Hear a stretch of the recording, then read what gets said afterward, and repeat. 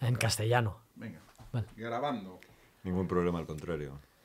Sí, saludo a tu Tom, tal, y al Santi, y a tú. Efectivamente. Venga. Lo que, Sí, tienes, lo, que, lo el capítulo, ¿no? lo que tendrías que hacer es ya poner esto directamente.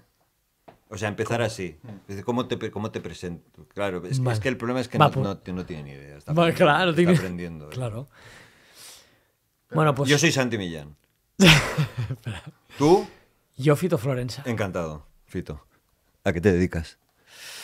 Pues eh, al entrenamiento personal Muy bien hecho. y conjugado con nutrición y otras cosas, como medicina, psicología, fisioterapia. Muy bien. Muy bien. O sea que... Y por eso nos conocimos. Efectivamente. O sea que tu trabajo está, es vocacional, dedicado a ayudar a los demás. O sea que eres, eres sí, un gran tipo. Sí, sí, sí. Bueno, eh, lo intento. Depende a quién preguntes, ¿no? Lo intento y depende de quién preguntes. No, pues, eh, Santi, eh, Dime. ¿tú por qué haces ejercicio físico? Mira, yo hago ejercicio físico porque eh, me di cuenta de que era la única manera de estar bien. Y, y es una putada. Es una putada porque el ejercicio físico cansa. El ejercicio físico no apetece. El ejercicio físico es... No... Pero la putada es que si no lo haces, no estás bien. Y, depende a qué edades, es, o sea, es imprescindible. O sea, tú a los 20 te puedes permitir el lujo de no hacer ejercicio físico porque tu vida ya es suficientemente dinámica como para no tener que hacer cosas extras como para encontrarte bien. Además, eres joven, que eso siempre ayuda. Pero a ciertas edades que el sedentarismo te va atrapando y además eh, el cuerpo lo que te pide es descanso. O sea, la cabeza lo que te dice siempre es ¿para qué? O sea, Y- ¿qué haces? ¿Qué estás haciendo? Si estoy sufriendo, me está costando. Y tú le dices, no, pero después nos vamos a encontrar mejor. De una mierda, yo quiero encontrarme bien ahora. Y ese es el- esa es la lucha. ¿Y a qué edad empezaste a hacerlo? Porque yo tenía entendido que fue más o menos a partir de los 40 años, es cierto, ¿no? Sí, sí, yo, yo a partir de los 40 empiezo a, a darle un poquito más... en- o sea, yo siempre había hecho deporte, o sea, me había gustado el deporte, lo que pasa es que en los deportes de equipo siempre era muy malo. Yo empecé haciendo atletismo, eh, malo, eh, baloncesto, malo, eh, fútbol, malísimo, malísimo. Entonces, bueno, pues seguía haciendo deporte, me gustaba jugar baloncesto y demás, y, y- me gustaba hacer deporte, y además que también entendía que para, para lo que quería dedicarme, que era ser actor, eh, pues tener una preparación física adecuada, pues siempre está, está bien, porque al final tu herramienta de trabajo es el, es el cuerpo. ¿Pero eso lo pensabas en los inicios? ¿O, como, o sea, o a partir de los 40? No, no, no, eso lo pensaba en los inicios, porque además eh, en el teatro siempre, eh, en cualquier estudio de teatro hay trabajo de cuerpo, de, pues eso, baile, eh, expresión corporal, eh, ejercicios de, cuerpo, porque después tú vas a hacer una película o vas a hacer una obra de teatro donde, yo qué sé, tienes que hacer algo y, tienes que estar mínimamente preparado, porque además no es hacerlo una vez, muchas veces en las películas hacerlo muchas veces. Yo me acuerdo con un actor que, que era un tío que no era mayor, era, era joven, quizá tenía mi edad mm, ahora, y, pero el hombre muy delgado, mm, no, no, estaba, no estaba currado. Y entonces era una película que era una película de, de comedia y había un momento que te- jugábamos como al churro media manga mangotero, ¿te acuerdas? Para la gente que no conoce, es que uno se ponía en la pared así y entonces los otros saltaban encima, como si O sea, montaran sí, a caballo. Sí, sí. Y entonces eh, eh, uno hacía así y el que estaba en la pared, que hacía de almohadilla para que no se reventara la cabeza contra la pared, era el que... Tú decías, churro medio mango entero, adivina lo que tengo el puchero de mi abuelo. Y el que estaba abajo, que todos les caíamos encima, que tenía que aguantar, decía, churro, no, media manga, se siente. Y entonces volvíamos otra vez. Bueno, una mierda.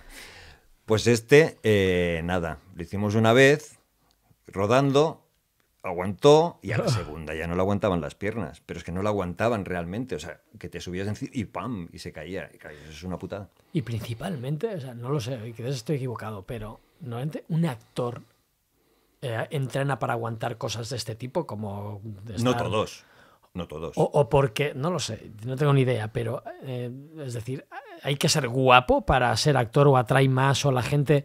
Hombre, sí, siempre, pero no, no para ser actor, para cualquier cosa ser guapo te ayuda. Sí, a mí me pasa. A veces, ¿a ti te pasa también? Tú lo sabrás.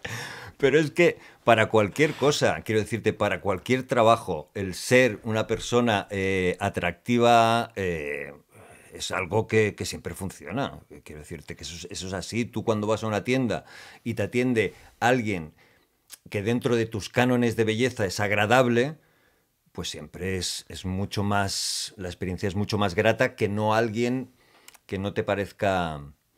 Y, al, final tú cuando ves una película y demás. O depende del papel, igual, o yo que sé, un superhéroe, un de Superman. de Notre Dame, pues ahí. Ahí vas bien si no haces. Y, a muchos actores les pasa, actores guapos eh, o actrices guapísimas, que al final eh, el ser guapo es, es, es, una putada para ellos. Porque, claro, al final no les dan personajes eh, con calado, personajes, pues eso, son por los guapos y las guapas, que todo es estupendo, todo es fantástico, y la vida realmente no es así.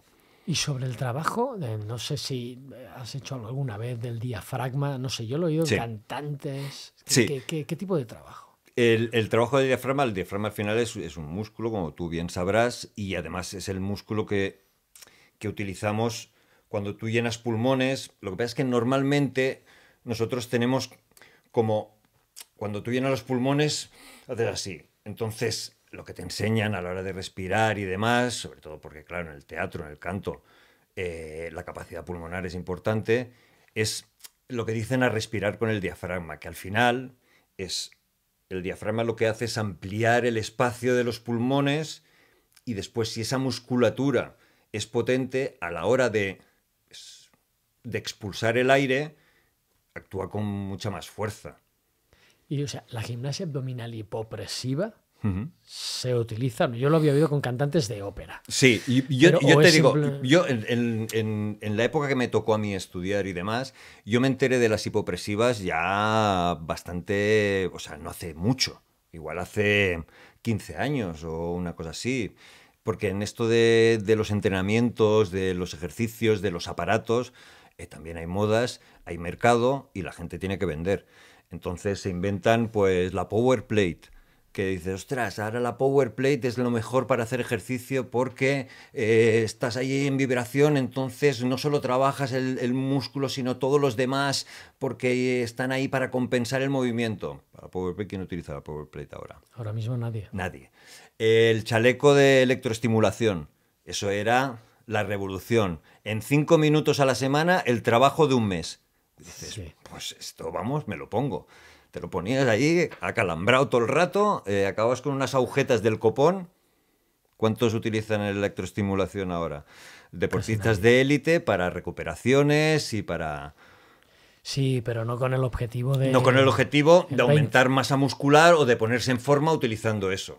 O sea, yo, nosotros utilizábamos el Compex, que al final viene a ser lo mismo de electroestimulación, pues para, para recuperar. Sí, sí, sí, sí, no, no, y el Compex sí que tiene mucha evidencia, incluso para la rehabilitación de lesiones. Efectivamente. Lo que sí se sabe en la rehabilitación de lesiones, si me permites, es... Hombre, no te voy a permitir si tú sabes de esto, vamos, como si lo tuviera que contar yo. No, no, pero que el Compex puesto en el sitio que toca, evidentemente, porque el chaleco no te lo permite, los electrodos están donde quedan y ya está, según una ML o S, lo que seas. Eh, en la rehabilitación, una vez el músculo, pues porque has sufrido un daño, te han operado, lo que sea, no está activo, no lo puedes activar porque esa vía neuromuscular, esa autopista está dormida, el Compex te ayuda una vez ya puedes, eh, has pasado la fase de rehabilitación, el Compex a la hora de aumentar el rendimiento deportivo no sirve para nada, eso sí que hay evidencia. A la hora de recuperar a bajos hercios, etcétera, pues con las piernas eh, hacia arriba para eh, favorecer el retorno venoso. Efectivamente. Pero, ¿qué, buscamos todos al final?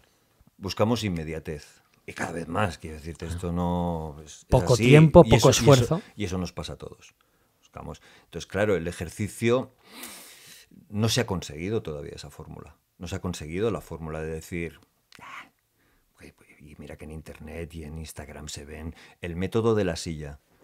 Que sale un señor de como de 80 años que está el hijo de puta, está y dice, "Ah, yo con dos ejercicios en la silla, hago así y así y estoy así. Dices, me cago en 10. O cuando te vendían los aparatos estos, que lo puedes guardar fácilmente debajo de la cama, con dos, eh, 10 minutos al día. La verdad es que desde que utilizo body shaming, esto es una maravilla. Entonces te salieron unos tíos que Sí. no, solo, no solo es que hicieran, eh, sino que estaban. O sea, que era gente que se había metido. O sea, que ese volumen no es de entrenar, ese volumen es de. Teclados. Estaban ciclados.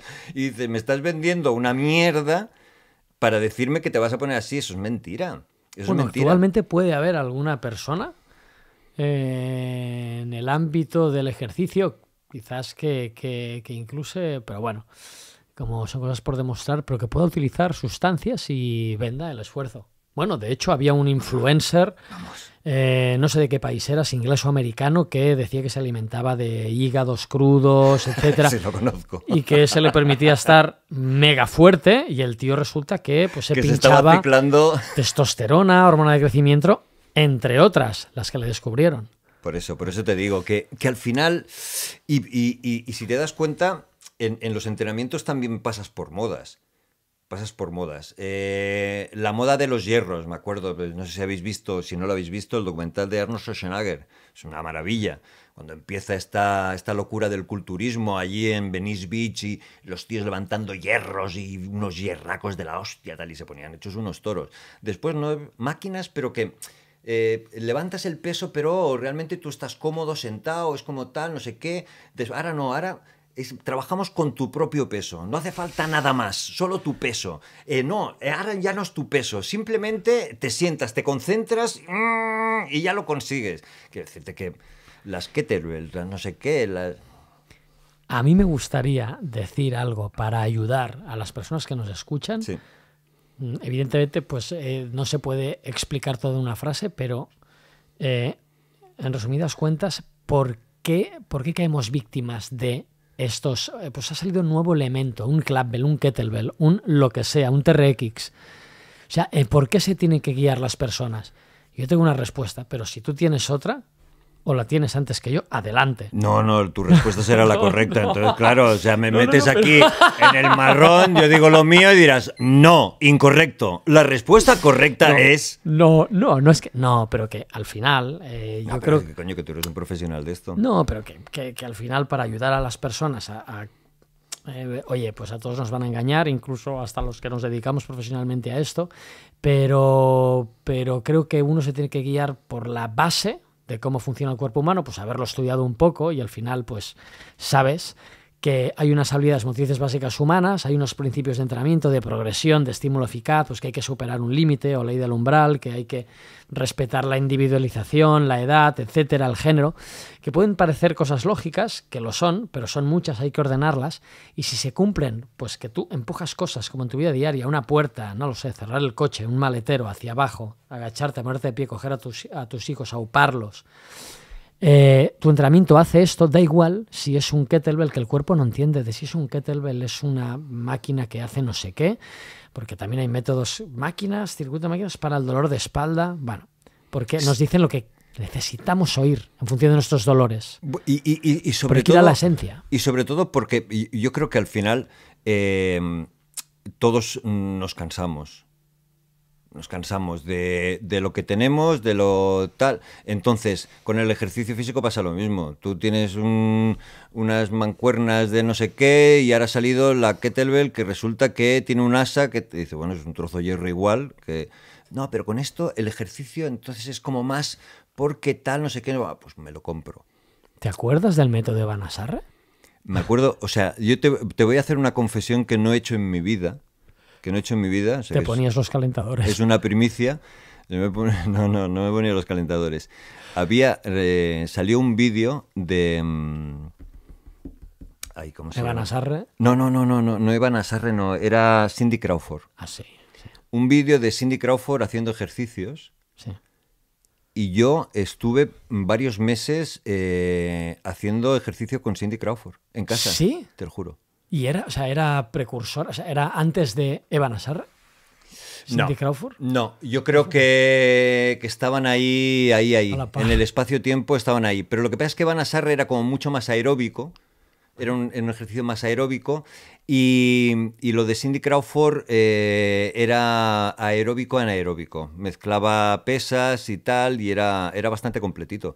La verdad es que sí. Pues es que al final, en el ejercicio, lo más importante, eh, como todo en la vida, amigo, es la constancia. Entonces dices, yo es que solo levanto no sé cuántos. Pues si lo levantas durante muchos tiempos, tal, te vas a poner fuerte. Dices, no, yo le voy a. Claro, nos coge ese ansia de que vas al gimnasio y el primer día te pones ahí, me cago en día, que al día siguiente no puedes ni desplegar los brazos, porque te han quedado agarrotados. Y entonces, claro, la sensación es tan mala que no vuelves. Entonces, lo que tienes que ir haciendo es, es progresivo. Lo que pasa es que hay cosas en la vida que inevitablemente necesitan tiempo hay cosas que es, que es así, que no, no, no se puede, no hay atajos. Y eso es una putada. Santi, ¿por qué crees que no se ha solventado lo que sea? ¿Por qué, ¿Por qué no hemos solventado todo? No lo sé, si el ser humano, si los profesionales que intentamos pues eh, divulgar o intentar que las personas hagan más ejercicio físico, yo que sé, sanitarios, médicos, ¿por qué crees que no se ha solventado? No lo sé, cada vez hay más obesidad, eh, no solo en adultos, sino eh, obesidad, estados preobesos, diabéticos, prediabéticos, obesidad infantil. Eh, incluso gana a las personas que pues, eh, tienen desnutrición eh, en este país, y esto es un dato también mundial. ¿Por qué crees que no se ha solventado esto todavía? Yo, creo porque nuestra programación cerebral, por la, evolución que, quiero decirte, antes tú hacías ejercicio porque no te quedaban más cojones. Claro, quiero decirte, me hace gracia como... el ejercicio, claro, tú corrías, pero porque te estaban... porque, había...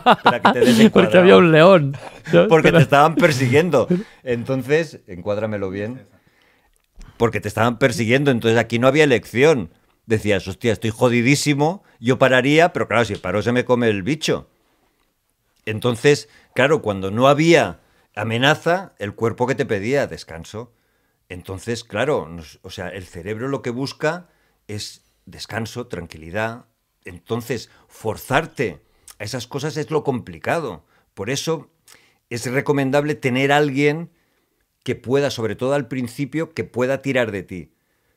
Porque al final, estos procesos, sobre todo estos procesos que son dolorosos, que cuestan y demás, si no tienes un objetivo muy claro, que quieres conseguir, que lo visualizas y que dices, ostras, yo quiero llegar ahí, es muy difícil, porque claro, el proceso... si tú te metes en, un terreno que es todo barro y está ahí de metal, no sé qué, si tú sabes que cuando llegues allí dices, usted es que me espera una ducha de puta madre, me voy a meter una merienda de cojones y tal y cual, lo tienes claro y dices, merece la pena. Cuando tú estás en el barrizal y no sabes para dónde vas, dices, ¿qué estamos haciendo aquí? Si podría estar en mi casa, que estoy bien. ¿Qué, necesidad tengo yo de meterme en esto? Entonces, es lo importante. Y, y, eso cuesta. Y por eso, el hecho de tener a alguien profesional al lado, que no todo el mundo se lo puede permitir, y esa es la putada, eh, te ayuda, sobre todo en ese primer eh, recorrido, a, pues eso, a cuando tú te quedas clavado en el barro, a meterte un tirón, y además, sobre todo, a saber lo que necesitas. Pero yo creo que el ejercicio es de las únicas cosas en esta vida que es buena para todo el mundo. Porque ya sabes que hay, mucha autoayuda y además la salud mental es muy importante, básica. Eh, Pablo Coelho. Por ejemplo. Yo me lo leí, lo reconozco. Un grande. Pablo Coelho. Caballero de la armadura oxidada. Precioso. Y El Principito también. El Principito. no, es de, no, es de, Pablo Coelho, pero también es una lectura. pues todas esas mierdas. Algún día descubrirás que la iglesia más bonita del mundo es la de tu pueblo. Esto no me acuerdo de cuál era, es otro muy conocido. El alquimista, esto. Pues todas esas mierdas, todas esas mierdas, al final, al final lo que, lo que te dicen es eso que ya no sé lo que, lo que te estaba diciendo. No, no me he perdido. No, pero es que lo bueno es que yo tampoco. No, no, no. Lo que te decía es que el ejercicio es bueno para todo el mundo. Que lo que intentamos es, es eh, aplicar eh, fórmulas y cada uno somos muy diferentes. Entonces, lo que te va bien a ti, a mí no me va bien, al otro le toca los cojones. Entonces, intentar crear fórmulas universales de comportamiento, de pensamiento y demás es muy difícil, porque cada uno tenemos nuestro background, tal. Pero en cambio el ejercicio, el ejercicio físico es algo básico, porque es que además tantos años de evolución, o sea, nos ha, creado un cuerpo que necesita actividad física, porque está creado para hacer, para moverse, no para estar sentado. Y, por ejemplo, eh, a nivel de educación, a nivel de educación, es decir, eh, eh, en los colegios, quizás ahí sí que haya un denominador común. No lo sé, personas que hoy pueden tener 35, quizás un poco más, 40 en adelante, que quizás puedan haber vivido, yo lo sé básicamente por los cuestionarios que hacemos inicialmente, eh, de salud, sobre todo experiencia haciendo ejercicio físico, la experiencia que, vives. A, la gente que, viene a entrenar. Uno de salud y una de las preguntas es, pues, oye, ¿tú qué experiencia has ¿qué ejercicio has hecho? sí, pero, pero sobre todo no, el tipo que también, ¿eh? Sino, qué, experiencia has vivido. O sea, que ha sido positivo el hacer ejercicio, ¿no? ¿Y, qué te dice la gente? Bueno, pues unas cuantas, cuando sacas el tema, muchas ni se acuerdan, pero cuando lo sacas, oye, ¿qué pensabas cuando hacías pues la primera vez? dice, uy, pues en el colegio. Pero dije, pues no sé, no sé si eh, antes se hacía una algo que no era educación física, era una gimnasia paramilitar. Eh, no lo sé. Eh. Sí, yo, yo, hacía eso, salto del Plinton, subir la cuerda, todas esas cosas. Que el, el, problema de esas cosas es que la gente que no le salía era un poco, era un poco delicado. Entonces, yo creo que que el ejercicio físico mm, mm, mm, lo encuentro mejor, algo más lúdico, ¿no? Por eso los, los, deportes de equipo funcionan tanto, porque al final, quiero decirte, es una cosa lúdica y que uno muchas veces cuando tú llegas que no estás muy motivado, uno pues anima al otro y el, y el grupo y además la experiencia compartida siempre es mucho mejor. Siempre. Claro, y el enfoque, o sea, eh, o por lo menos en cual lo decimos muchas veces, eh, es decir, el, lo que decías, la gimnasia paramilitar, ¿no? Yo qué sé, pues la Vuelta Canaria, la Paloma, y bien o mal, era excluyente.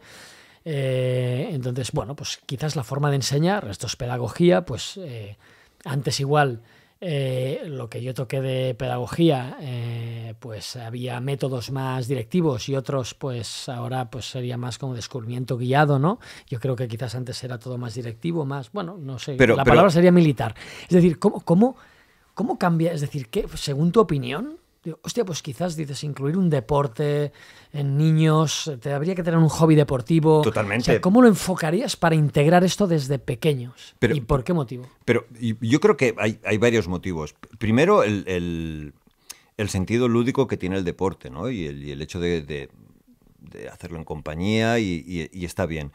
Después, que yo creo que al final nosotros tenemos que vivir en una sociedad donde hay una serie de normas y, lo que pasa es que las normas cambian mucho de una casa a otra. En cambio, en el deporte hay unas normas como bastante universales, ¿no?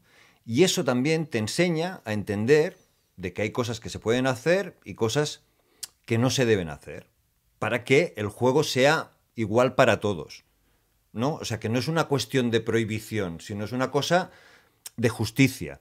De decir, hostia, hemos marcado estas reglas, que estamos todos de acuerdo, pues ahora hay que respetarlas para poder jugar a este juego, que vendría a ser un poco extrapolado la sociedad, decir, hostia, nosotros nos hemos estipulado unas normas de convivencia que las hemos estipulado no para reducir tus derechos, que eso sería lo, lo suyo, ni para, sino para que tus libertades y las mías puedan convivir. Que eso es muy difícil, pero que es así.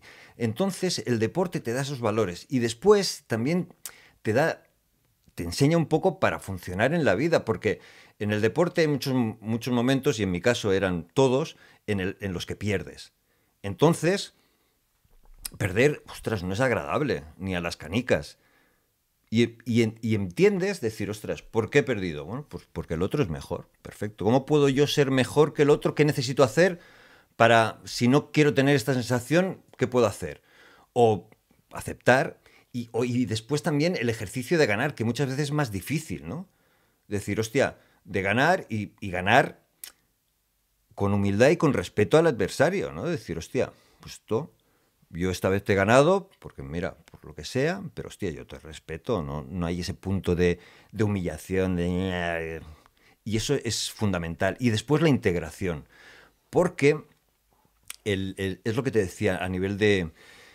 Claro, gente de culturas diferentes tiene eh, paradigmas diferentes de funcionamiento, tiene códigos diferentes, tiene normas diferentes. Entonces hay veces que es difícil la convivencia. Pero en el deporte hay unas reglas que ya están estipuladas.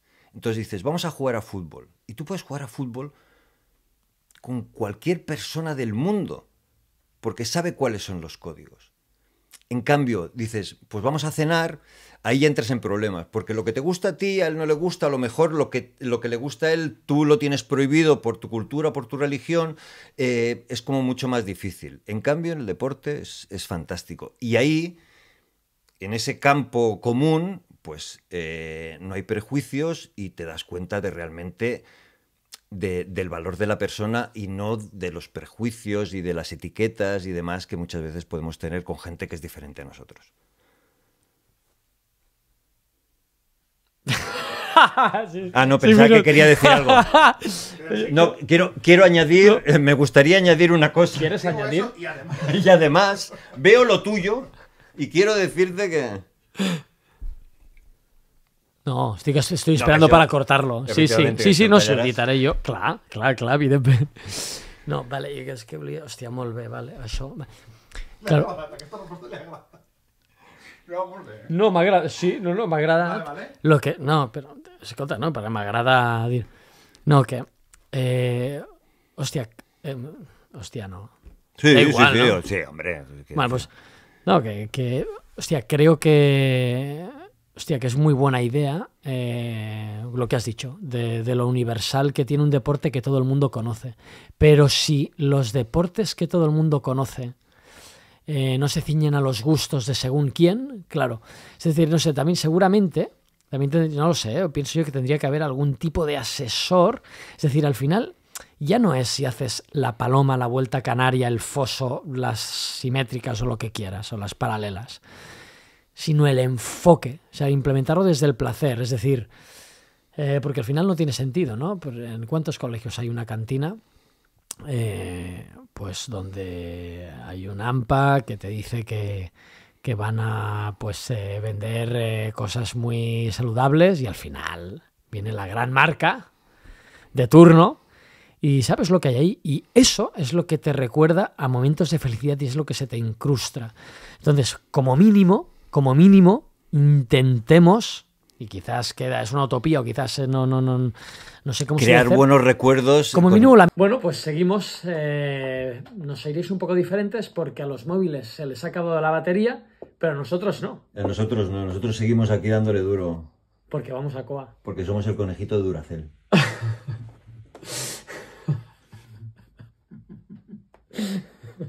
Entonces, eh, nada, simplemente quería preguntarte, ¿cuáles son las claves que hacen? O sea, ¿en qué te centras tú? ¿En sensaciones, en imagen? ¿En qué para seguir siendo regular, manteniendo los hábitos de ejercicio físico y alimentándote mejor que peor? Bueno, yo creo que al final es lo que te decía, darte cuenta de que te encuentras mejor cuando haces ejercicio, eso es una cosa que ayuda mucho. Lo que pasa es que cuando empiezas a hacer ejercicio, esa sensación no la tienes. Cuesta llegar a esa sensación. Entonces, durante ese, durante ese proceso, durante los procesos desagradables, yo el ejercicio que hago es no pensar, automatizar.